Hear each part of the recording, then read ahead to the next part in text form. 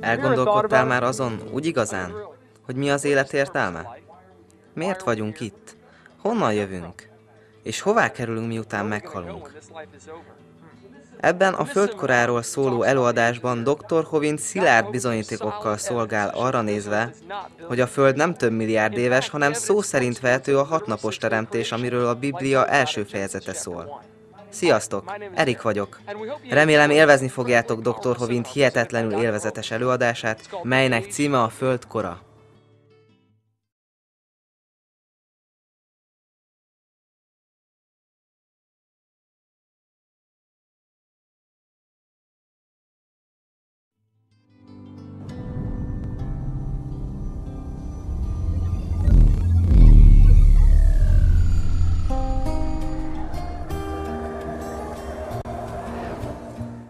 Hello! Örülök, hogy itt lehetek köztetek. Ken Hovin vagyok.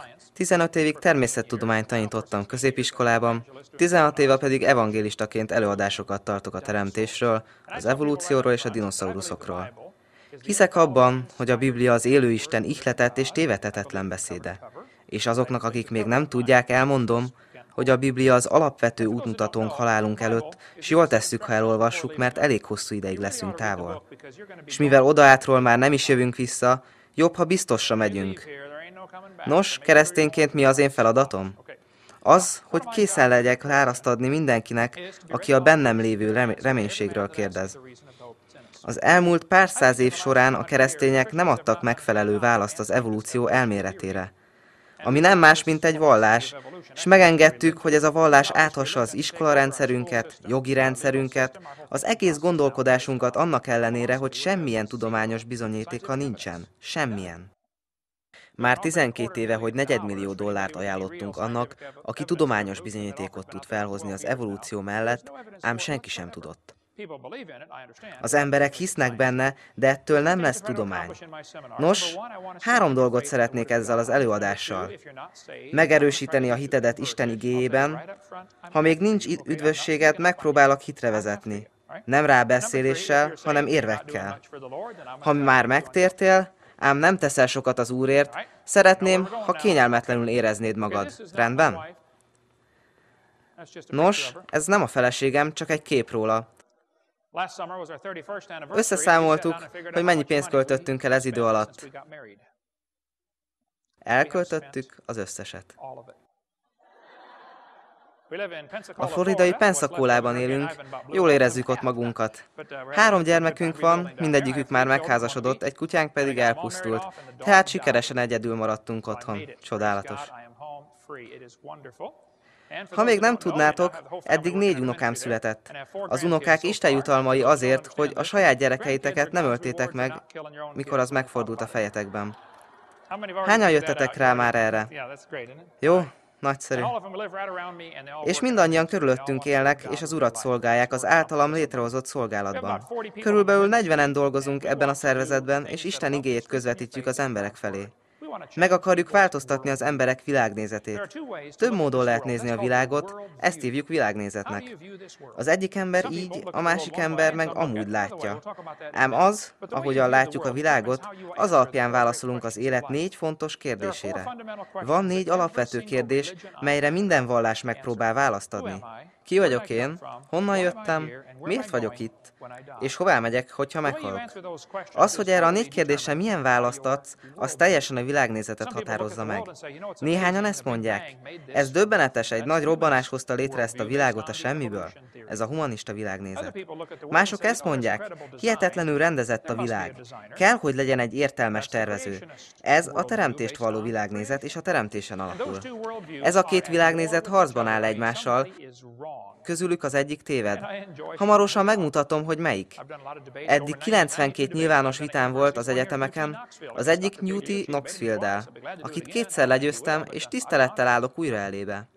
Tudjátok, akikkel vitatkozom, azok sokkal okosabbak, mint én, de legyőzöm őket, mert nekem van igazam, nekik pedig nincs. Ám ha az evolúció elmélete igaz, milyen válaszokat kaphatunk a négy fontos kérdésre? Ki vagyok én, mennyit érek? Nos, ha az evolúció igaz, akkor te egyáltalán nem vagy fontos. Csupán egy szárazföldre vetődött apró lény vagy, semmit sem érsz. Sőt, csak a bajt szaporítod, mert te is szennyezed a környezetedet. És minél kevesebb van a hozzád hasonlókból, annál jobb. Honnan jöttem? Nos, ha az evolúció igaz, akkor kb. 20 milliárd évvel ezelőtti kozmikus véletlen eredménye vagy. Miért vagyok itt? Mi az élet célja? Nos, ha az evolúció igaz, az életnek nincsen célja a lényeg, hogy jól érezzük magunkat. Tedd nyugodtan, ami csak tetszik. Hová kerülök, miután meghalok? Nos, ha az evolúció igaz, akkor elporlatsz, s maximum férgek táplálékául szolgálsz. A Bibliában az áll, hogy kezdetben Isten teremtette az eget és a földet. Nos, ha ez igaz, akkor egészen mások a válaszok. Azaz, jó, ha tudjuk, ki ez az Isten, mit akar, és megtesszük, amit mond, mert ő teremtette a földet, az az ő tulajdona, és ezért ő alkotja a szabályokat. Ha pedig nem engedelmeskedünk neki, nagy bajba kerülhetünk. Erről majd később bővebben szólunk. Nos, az ördögtek nem tetszik, hogy Isten alkotta a földet. Amikor az Éden kertjében odament Évához, ezt mondta először.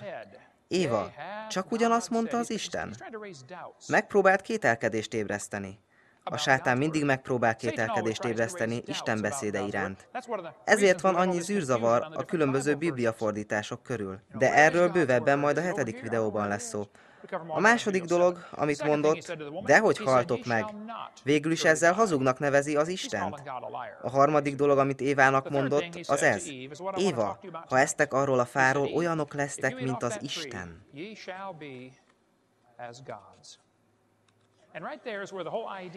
És ez az, ahol az evolúció elmélete elkezdődött. Nem Darwinnal indult, hanem sátán kezdte el az éden kertjében. Azt akarja, hogy azt hidd, Isten lehet belőled. Igen, a műbához hasonlóan fejlődtünk, és egyre nagyobbak lettünk, jobbak lettünk, és egy napon új életformákat fogunk felfedezni az univerzumban. Mint a Star Trekben. Az emberek megkérdik, Hovind, Szerinted van intelligens élet más bolygókon is? 15 évig tanítottam középiskolában, és úgy vélem, hogy nincs intelligens élet ezen a bolygón. A sátán hazudik. Azt mondja, olyan lehetsz, mint maga az Isten. Azt tanítják, ha jó mormon vagy, akkor amikor a mennybe mész, Istenné fogsz válni, és ha jó feleség vagy, akkor a mennyben állandóan szellemi gyerekeket kell szülnöd. A feleségem nem akar oda menni. Azt mondja, az ilyen helye nem a mennyország, Apropó, van egy jó könyv a mormonok számára, és egy jó honlap, utml.org. Pár éve felfedeztem, hogy néhány múltbeli katolikus teológus azt tanította, hogy az ember Istenné válhat. Még most is benne van a katekizmusokban. Nos, a legtöbb katolikus nem hisz ebben, sőt, nem is tudják, hogy néhány vezetőjük ezt tanította. De még Kenneth Copeland is azt mondta, az Éden kertjében Ádám a testben megnyilvánult Isten volt. Nem egy Isten van benned, hanem te magad vagy az. Bocs, Kenneth, de ebben nagyot tévedtél. Kenneth Hagin azt mondta, a hívő embert Krisztusnak hívják. Mi vagyunk a Krisztus. Ez helytelen. Ez a poszt már be van töltve.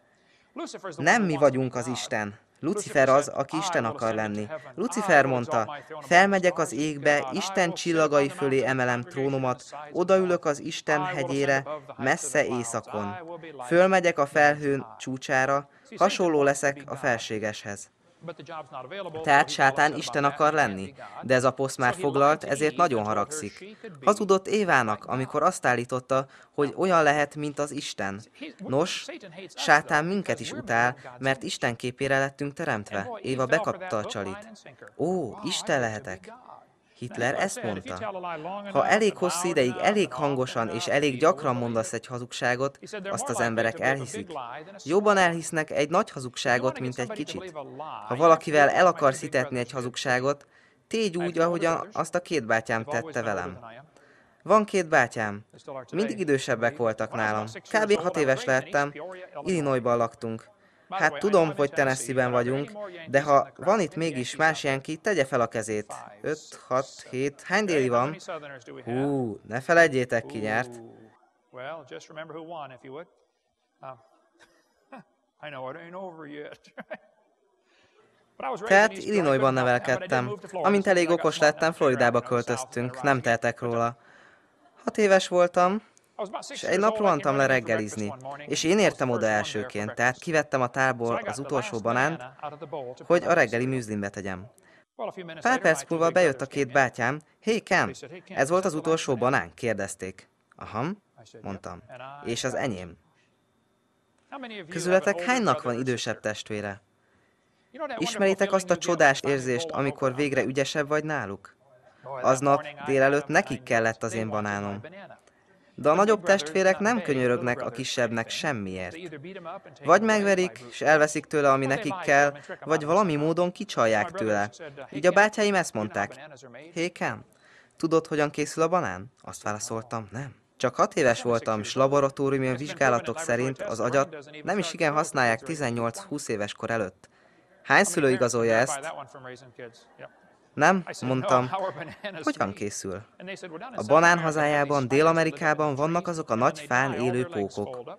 Ezek, amikor elpusztulnak, a lábaik elfolyósodnak, így a banán nem más, mint szétmálott póklábak. Ti hazudtok nekem, mert ez az utolsó banán, és el akarjátok tőlem venni? Nem, öcsi, mondták.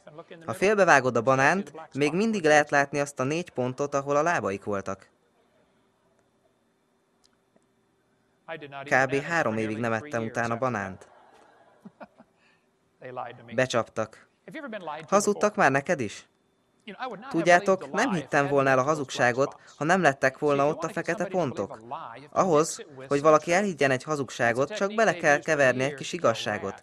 Így írtották a patkányokat is. Nem egy tálmérget adtak a patkánynak, hanem egy tál jó ételt, amiben kevés mérget tettek. Így a patkányméreg 99,995 ezred százalékban jó étel. Ugyanezt a trükköt alkalmazták sokáig a Marlboro cigaretta eladásánál is. Összeegyítik a kábolyokkal. Ha megnéznél bármilyen marboló hirdetést, találsz bennük valamilyen utalást a kábolyokra. Mi a kapcsolat a dohányzás és a kábolyok között? Az összes káboly dohányzik? Nem. Kell-e dohányoznod, hogy káboly lehess? Nem. Ha marbolót szívsz, automatikusan káboly leszel? Nem. Lehet, hogy olyan szagod lesz, mint egy lónak, de attól nem vagy cowboy. A laboratóriumi tesztek bizonyítják, hogy nem a dohányos füstöl, hanem a cigaretta. A dohányos csak megszívja. Én igazi nevén hívnám a dolgokat. Mondjuk rákpálcika, leheletrohasztó, életkerülő, köpedékcsomó. Ám ugyanez a helyzet a sörrel is. Megpróbálják a sört kapcsolatba hozni a sporttal. Itt van ez a híres futballjátékos. Az a neve, hogy hülye Bud. Ehelyett Budweisernek hívják, ami bölcs Budot jelent. Itt van Bud Dumber, és az ehhez hasonlók, és el akarják hitetni veled, hogy ha ezeket iszod, akkor focista lesz belőled. Igazad van. A Biblia szerint, ha ezt iszod, tönkreteszed az életedet. Kinek jaj? azoknak, akik bor mellett mulatnak. A Biblia azt mondja, hogy még csak ne is nézd, hogy gyöngyözik a pohárban. Habakuk szerint jaj annak, aki leitatja embertársát. A Biblia szerint még csak ne is érintsd azt. Kérdezheted, mi baj, Hovin, nem szereted a sört? Nem tudom, soha nem próbáltam. 52 éves vagyok, és soha nem ittam szeszt. Kivéve talán néhány orvosságot, amiben volt. Kérdezheted, honnan tudod, hogy nem szereted, ha még nem is kóstoltad? Egyszerűen, kipróbáltad már milyen kamion alá feküdni? Honnan tudod, hogy nem jó, ha még nem is próbáltad? Nehogy kipróbálj mindent. Másképpen is megtudhatod, hogy egy dolog jó-e vagy rossz. Például, hogy mások hibájából tanulsz. Hú, azt ne tedd, az fáj. Mint a halálra ítélt utolsó szavai.